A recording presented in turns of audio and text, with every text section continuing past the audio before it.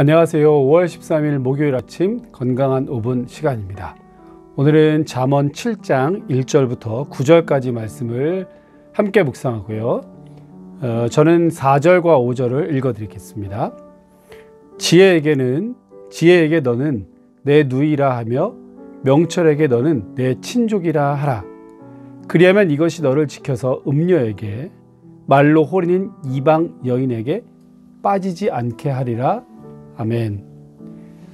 7장 전체는요, 어, 총 15개의 솔로몬의 강화 중에서 13번째 강화에 해당됩니다.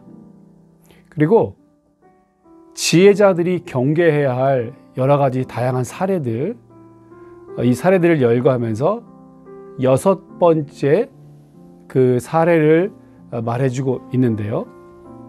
그 큰 주제는 음행에 빠지지 말라입니다. 음행에 미혹되지 말아라. 이것을 아주 길게 말해주고 있습니다.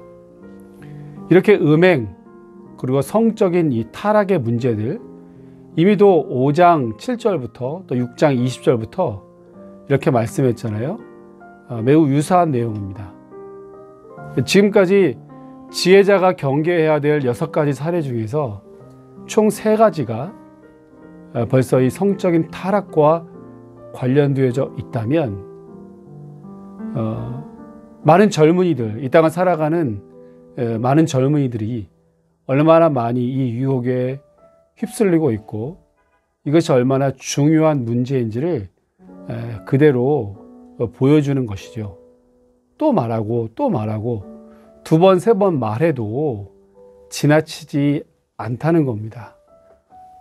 오늘도 내 아들아 비슷한 패턴으로 시작하면서 음료의 유혹, 특히 이방 여인의 홀리는 말에 빠지지 않기 위해서 어떻게 하는가 이제 몇 가지를 계속 말하는데요. 네, 먼저 4절에서 어, 읽은 것처럼 지혜를 존중히 여기고 소중히 여기고 가깝게 여겨라입니다.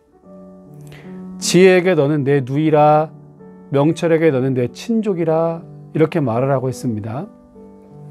물론 그 앞에서 손목에 메고 또 마음판에 새겨라 이런 말씀도 했습니다만 더 친근하고 적극적으로 지혜를 향해서 누이, 누나 또는 여동생 이렇게 말하고 명철에 대해서는 친족이라 그랬습니다.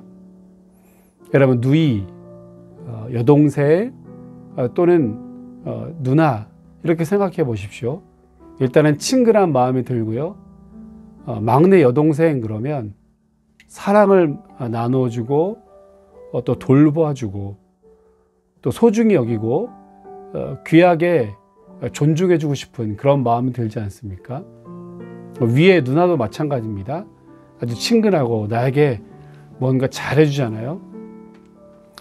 아, 또 친족이라는 것도 그렇습니다. 이스라엘 백성들은 특히 이 친족 공동체를 매우 소중하게 여겼고 어, 우리의 직계 가족뿐만 아니라 내 친족, 시족 어, 이 공동체를 중심으로 어, 서로 억울한 일을 돕고 또 원, 원한 산 것이 있으면 또 이것을 대신 갚아주면서 매우 끈끈한 관계를 가졌다는 겁니다. 자, 그러니까 지혜를 향해서 누이라, 명철을 향해서 친족이라 라고 하는 것은 어, 생명처럼 소중히 내 가족처럼 친족처럼 아주 친근하게, 친밀하게 여기라는 겁니다. 더 적극적인 자세를 가지고 태도를 가지고 이 지혜와 명철을 하나님의 말씀을 따르고 순종하라는 것이죠. 자, 그리할 때 음녀에게서 우리를 지킬 수 있고 이 성적인 타락과 유혹으로부터 우리를 지킬 수 있습니다. 어제도 말씀드렸고 이제 내일도 반복되겠습니다만 아, 굉장히 우리가 성적으로 타락하고 문란한 아, 그러한 시대를 살아가고 있죠.